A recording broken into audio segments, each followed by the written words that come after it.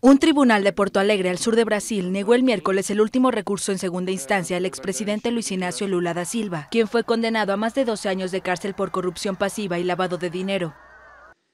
Después de analizar todas las ponderaciones de la defensa, señor presidente, concluyo que es manifiesta la inadmisibilidad de esos segundos embargos de declaración, porque los juzgados que fueron opuestos en la fase del juicio de apelación criminal no se puede admitir la posibilidad de la defensa de buscar la reapertura de la discusión sobre temas ya superados.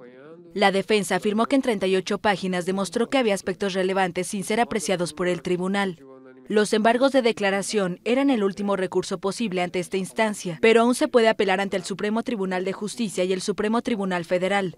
Lula, de 72 años, fue condenado en primera y segunda instancia por supuestamente haber recibido de la constructora OAS un triplex a cambio de beneficios en Petrobras. El exmandatario que lidera los sondeos para las elecciones presidenciales de octubre se entregó a la Policía Federal el 7 de abril.